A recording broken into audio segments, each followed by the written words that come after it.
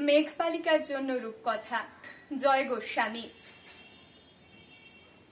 আমি যখন ছোট ছিলাম, খেলতে যেতাম মেঘের দলে। একদিন এক মেঘবালিকা প্রশ্ন করল কৌতূহলে, এই ছেলেটা, নাম কি রে তোর?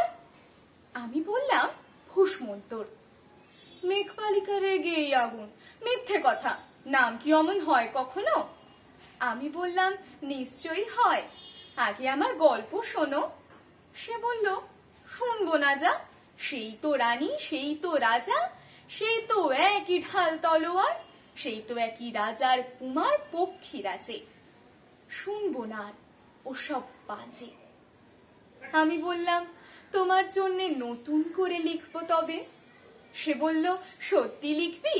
বেশ, তাহলে মস্ত করে লিখতে হবে। মনে থাকবে, লিখেই কিন্তু আমায় দিবি। আমি বললাম, তোমার জন্যে লিখতে পারি এক পৃথিবী। লিখতে লিখতে লেখা যখন সবেমাত্র দু চার পাতা, হঠাৎ তখন ভূত চাপলো আমার মাথায়। খুঁজতে খুঁজতে চলে গেলাম ছোটবেলার মেঘের মাঠে। কি দেখি চেনা মুখ তো একটিও নেই এ তল্লাটে। একজনকে মনে হলো ওরই মধ্যে অন্যরকম। এগিয়ে গিয়ে বলি তাকেই, তুমি কি সেই মেঘবালিকা তুমি কি সেই? সে বলেছে, মনে তো নেই, আমারও সব মনে তো নেই। আমি বললাম, তুমি আমায় লেখার কথা বলেছিলে। সে বলল, সঙ্গে আছে, ভাসিয়ে দাও গায়ের ছিলে। আর হ্যাঁ শোনো এখন আমি মেঘ নই আর। সবাই এখন বৃষ্টি বলে ডাকে আমায়। বলেই হঠাৎ এক পশলায় চুল থেকে নখ আমায় পুরো ভিজিয়ে দিয়ে, অন্য অন্য বৃষ্টি বাদল সঙ্গে নিয়ে মিলিয়ে গেল খরস্রোতায় মিলিয়ে গেল দূরে কোথায়? দূরে দূরে। বৃষ্টি বলে ডাকে আমায়। বৃষ্টি বলে ডাকে আমায়। আপন মনে বলতে বলতে আমি কেবল বসে রইলাম ভিজে একসা কাপড় জামায়। গাছের তলায় বসে রইলাম বৃষ্টি নাকি মেঘের জন্য। এমন সময় অন্য একটি বৃষ্টি আমায় চিনতে পেরে বলল, তাতে মন খারাপের কি হয়েছে? যাও, ফিরে যাও। লেখো আবার। এখন পুরো বর্ষা চলছে। তাই আমরা এখন নানান দেশে ভীষণ ব্যস্ত। তুমিও যাও, মন দাও গে তোমার কাজে। বর্ষা থেকে ফিরে আমরা নিজেই যাব তোমার কাছে। এক পৃথিবী লিখব আমি।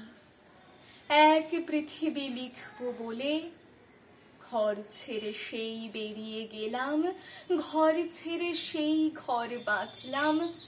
গহন বনে, সঙ্গী শুধু কাগজ কলম।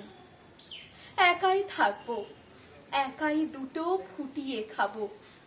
দু এক মুঠো ধুলো বালি যখন যারা আসবে মনে, তাদের লিখব, লিখেই যাব। এক পৃথিবীর একশো রকম স্বপ্ন দেখার সাধ্য থাকবে যে রূপকথার। সে রূপকথা আমার একার। ঘাড় গুঁজে দিন লিখতে লিখতে, ঘাড় গুঁজে রাত লিখতে লিখতে, মুছেছে দিন, মুছেছে রাত, যখন আমার লেখবার হাত অসার হলো, মনে পড়ল সাল কি তারিখ, বছর কি মাস, সেসব হিসেব আর ধরিনি।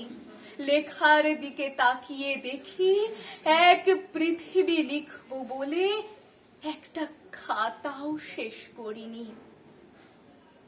সঙ্গে সঙ্গে ঝমঝমিয়ে বৃষ্টি এলো খাতার উপর, আজীবনের লেখার উপর বৃষ্টি এলো এই অরণ্যে। বাইরে তখন গাছের তলায় নাচছে ময়ূর আনন্দিত।